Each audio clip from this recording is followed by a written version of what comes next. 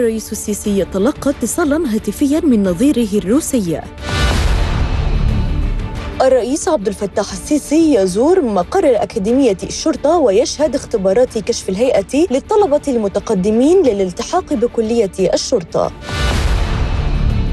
غدا انطلاق التصويت للانتخابات الرئاسية 2024 وتستمر لمدة ثلاثة أيام.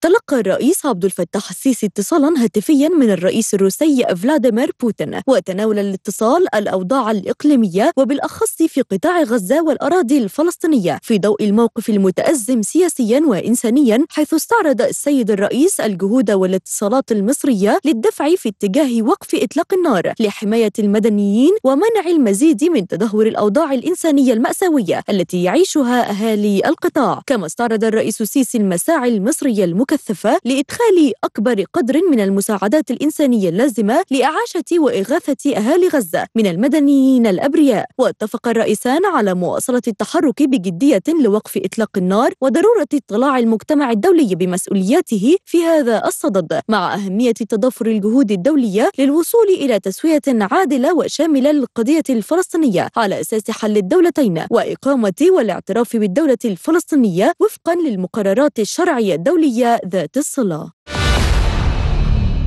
قام الرئيس عبد الفتاح السيسي بزيارة لمقر أكاديمية الشرطة ويشهد اختبارات كشف الهيئة للطلبة المتقدمين للالتحاق بكلية الشرطة.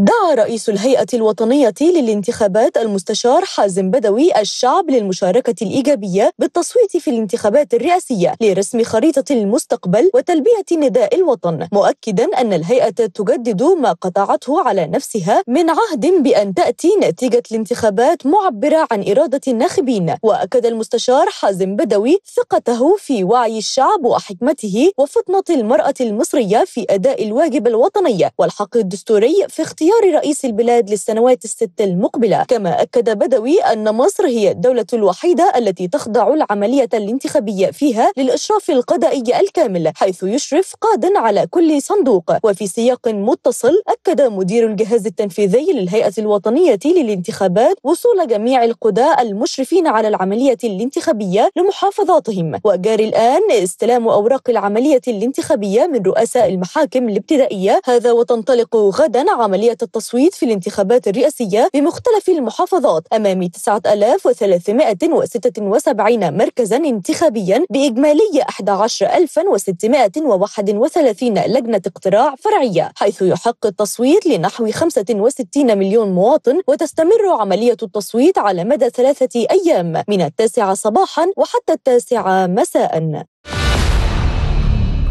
تابع الدكتور مصطفى مدبولي رئيس الوزراء حصاد جهود منظومة الشكاوي الحكومية الموحدة بمجلس الوزراء والجهات الحكومية المرتبطة بها خلال شهر نوفمبر الماضي وذلك من خلال تقرير أعده الدكتور طارق الرفاعي مدير المنظومة. وثمن مدبولي جهود منظومة الشكاوي الحكومية من حيث الاستجابة للشكاوي والطلبات المختلفة والتعامل معها على النحو الأمثل. ووجه بفتح وتنويع قنوات التواصل بين المواطنين والحكومة لتلقي الشكاوي والاستفسارات. القرارات وبذل أقصى جهد ممكن للرد عليها والتصدي لأسبابها. وأكد الدكتور طارق الرفاعي أن المنظومة تلقت ورصدت 136 ألف شكوى وطلبا واستغاثة.